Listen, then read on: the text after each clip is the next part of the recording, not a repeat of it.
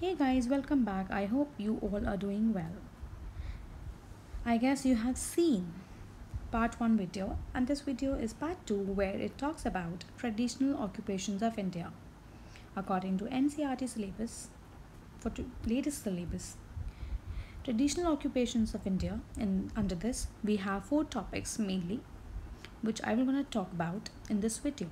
First is agriculture, second is handicrafts, third is Indian cuisine, and fourth is visual arts. These all topics will be covered in this video in details as far as latest syllabus given by NCERT 2020. So guys, I have all marked important questions, important topics and whatever is required if it is. So let's start with an introduction of traditional occupations of India. This talks about first point you need to study is Dash is one of the richest countries as far as art and culture are concerned. Now, this can come as a one marker question which is the which is the richest country as far as art and culture are concerned. So answer is India. Second is if we talk about the countries which has still ancient and diverse culture. Our country is one of them. Third point, we know that our country is diverse and despite of diversity, there has been cultural and social cohesiveness of an enduring nature. If we talk about over the years, then stability of the culture can be seen. And this is all because of cultural and social practices by human beings though there have been some disruptions. Disruptions can be due to foreign invasions and upheavals, and still the culture still the culture is being maintained. This is this makes India richest country as far as cartoon culture are concerned. So I have told you what is important thing, and this can come even as a to mark a question. What makes India richest country? in terms of art and culture. So you can sum up the whole paragraph. I have told you the points. You can write all the points under two markers. Can write four points. So that will be a great thing for you to attempt the answer. Now the first topic is agriculture and if we see agriculture in first three lines this says agriculture is the major occupations in our country for a large proportion of the population and this is all because of climatic conditions in most parts of India are suitable for agricultural activities. So this can come as a one mark two marker question that why agriculture has been the ma major occupation in India. So you should say because of the climatic conditions in most parts of the India are suitable for agricultural activities. Now we know that 70% of the population lives in rural areas where the source of employment for million of people is farming. So this can also come as a question that which is the largest source of employment for the rural people in India. So you should say farming. Now the third point is that you should understand there are two types of crops grown by the farmers.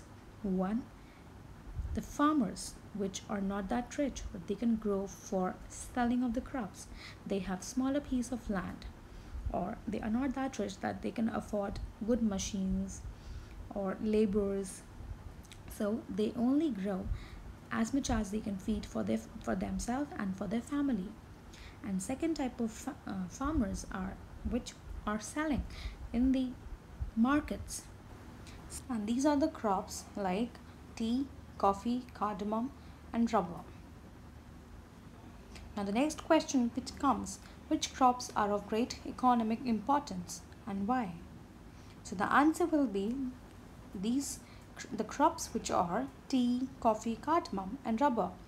You should give example always when you are quoting your answer are of greater importance, economic importance because they bring a lot of foreign exchange to our, for our country. Now the next question can be, which is the largest producer of cashew nut, coconut milk, ginger, turmeric and black pepper in the world? So answer is India. Or they can ask, what products are produced in very larger quantity by our country? So you, should know the examples. You should at least know the four examples. India is also the largest producers of fruits and vegetables, spices, condiments, and tea. India, the traditional occupation we talk about is also fishing because of the country's very long coastline. So this can also come as a question. So here we finish the agriculture topic. We move on to the next topic that is handicrafts. Handicrafts have been um, considered as one of the traditional occupations in India. Earlier we have talked about fishing and now we're going to talk about traditional occupations that is handicrafts in Indian villages. And today if you see arts and crafts are very popular in the international market which actually have become a means of livelihood for the rural folk. That means they are earning a lot of money by selling their products that are handmade. Some examples that has been made by the people are woodcraft, pottery, metal craft, jewelry making, ivory craft, conch craft, glass, paper craft, embroidery, weaving, dyeing, printing, silk craft, sculpture, terracotta, shola pith, craft, daris, rugs, carpets, clay and iron items, etc. Now these are the examples, at least you should know 4 to 5 examples of the handicrafts. This can come as a one marker question. Now the second thing we're going to talk about here is weaving which is considered as a cottage industry in India and each state has typical woven fabrics, embroideries and traditional costumes which actually make suitable for the region specific climate and lifestyle. That is why if we go to every state, we find different costumes, different fabrics, different embroideries. You all know the examples. Go and search for it and let me know. Next is different regions in India that we have already talked about are famous for different types of weaving. India is actually known for its woven fabrics that is famous all over the world. We see in the past we used to weave or do the embroideries or make handicrafts that for daily uses or others for decorative purposes. These occupations and many others are reflective on the basis of socio-economic culture. However, the modern economy has catapulted such craft items into the global market, earning the country considerable foreign exchange. Now, these are the pictures you should know. This can come as a one marker question for like name the craft of Odisha, which is Shola craft. Name the dolls of Karnataka, Channapatna, stone sculpture. Now here we talk about the traditionally um, earlier the process which used techniques and skills of the crafting and manufacturing be, were handed from one generation to the next to the members within the family. They were passed on to. You can see that if the person is you know a good businessman obviously this will be passed on to next generation. And these were the training which were given to the family members within the family and by the family members. And this were known as home-based training. And the know-how and finer nuances were tightly guarded secrets within closed groups in a given occupation obviously these trainings were very secretable that only family members knew about it. Now, we talk about India, the dynamics of religion, caste, and occupation. They have been tightly interwoven, coupled with hierarchical order of clusters within the social fabric of the country. There are hundreds of different tradi- uh, traditional occupations. You can say, for example, hunting, trapping birds and animals, gathering and uh, selling of foreign produce, garland making, salt making, tapping of nira or palm sap juice, mining, brick, and the tile making. So these are the examples. These were considered as traditional occupations. And we talk about intergenerational traditional occupation, which include priest. So here we finish about the uh, handicrafts, how they were passed on to the family members, techniques and trainings, and uh, some traditional occupants uh, occupations we have talked about now let's talk about cuisines Now, each, re- region of India has typical cuisine. If we see for North India, South India, West Bengal, everybody, you know, like taking different cuisines. So, because of diversity in soil types, culture, comma, ethnic groups, and occupations, cuisines vary from region to region. This can come as a one marker question or two markers question. The people use locally available spices, herbs, and vegetables and fruits. India is well known for its taste tongue tickling cuisines, which has emerged as a source of livelihood for innumerable persons which are getting engaged, from street food vendors to special restaurants and five star hotels. Many popular traditional foods and spices mixes and masalas are in demand in other countries. So we are actually earning a lot of money by sending our spices, herbs to other countries. So here we finish about cuisines. We're gonna move on to the next topic, and that is visual arts. Let's start with the visual arts. Now these are the pictures which are shown for the embroidery and textiles of India. You just need to see them, you don't need to learn about it. Now let's see for the visual arts. We have been practicing visual arts for over 4000 years. You should know what is a visual art.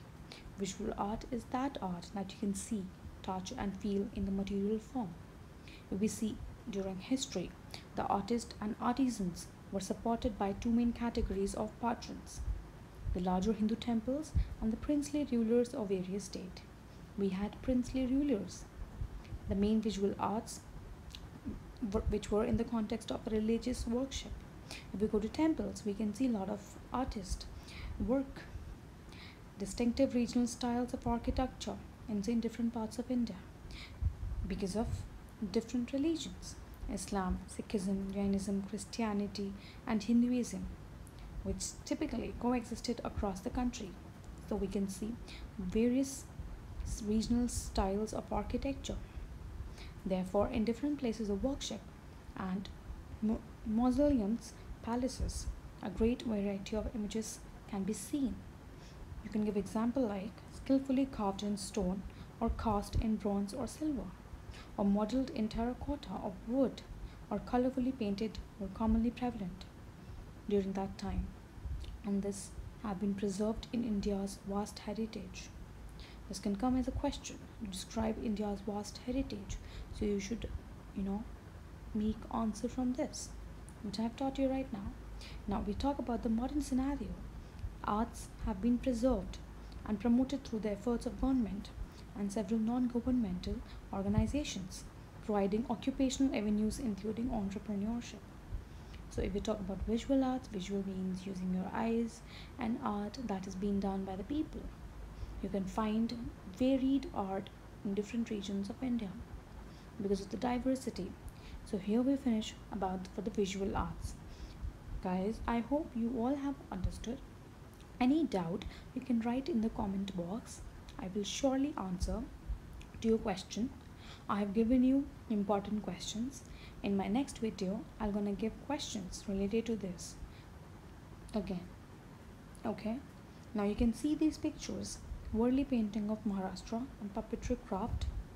We know that we have rich heritage of traditional occupations which we have talked about earlier. And if we talk about the modern context, these work of ours are gradually losing out to mass produced goods, leaving the artisans with meager source of income. On the other hand, there have been gradual erosion of the aesthetic appreciation of fine arts. Now, if we see, this is all because of illiteracy, general socio-economic backwardness, slow progress in implementing land reforms, and inadequate or inefficient finance of marketing services are major constraint that causes this trend. Now you can see what leads to the gradual erosion of the aesthetic appreciation of fine arts. Shrinkage of forest, depletion of resource base, and general environmental degradation are responsible for various problems faced in the context. So guys, I hope you have understood. Now let's see the two pictures, coconut craft of Kerala. This was coconut made by coconut. Next is bamboo craft of Assam. So these were particularly from Assam. I hope you have all understood. Now in this paragraph, Generally, we are talking about the art and craft, the visual arts, the handicrafts are actually being, you know, um, promoted by the government and non-governmental organizations. And there are a lot of efforts and initiative which have been taken so that we can enhance the incoming generation potential of the rural folk and preserve our culture. The need of the hour and the challenge confronting in a society is to maintain the diversity without the hierarchy or caste based work division in the democratic model.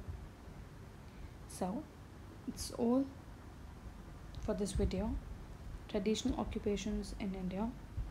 You should sum up and understand what is important and you should learn as a flow chart, guys, all the four topics, especially with examples. This can come as one markers.